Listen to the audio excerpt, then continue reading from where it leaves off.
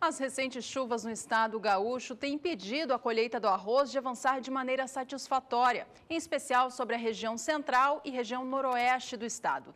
De acordo com o boletim divulgado nesta quinta-feira pela Emater Gaúcha, a área colhida agora alcança cerca de 20% de tudo aquilo que foi plantado nesta temporada. O percentual de área colhida, apesar de estar acima do que se via nessa mesma época do ano passado, está atrasado em relação à média das últimas temporadas. Veja comigo na sua tela que até o momento, portanto, na safra 16-17, o estado já conta com 20% de área colhida. Nessa mesma época do ano passado, em relação à safra 15-16, a área colhida alcançava alcançava apenas 10%.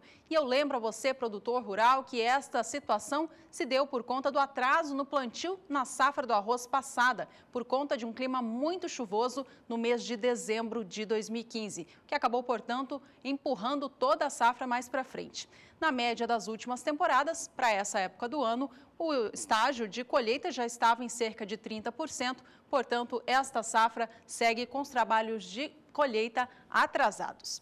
Em relação à produtividade média das lavouras que têm sido colhidas, o rendimento está dentro do esperado. Eles variam entre os seguintes índices, veja só, colheita do arroz no estado gaúcho está rendendo cerca de 125 sacas por hectare até 133 sacas. A qualidade do arroz é positiva, com os grãos apresentando um bom rendimento no engenho.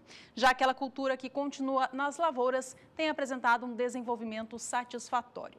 Em relação aos preços, o valor está ligeiramente acima do que se tinha nessa mesma época do ano anterior. De acordo com o Emater, na semana do dia 27 de fevereiro até a data atual, 3 de março, valores pagos pela saca do arroz em casca no Rio Grande do Sul variam entre R$ 45,00 no preço mínimo até R$ 50,50 no valor máximo. A média fica em R$ 47,74. Nessa mesma época do ano anterior, o valor médio era de R$ 45,25, portanto, ano atual registrando ganhos.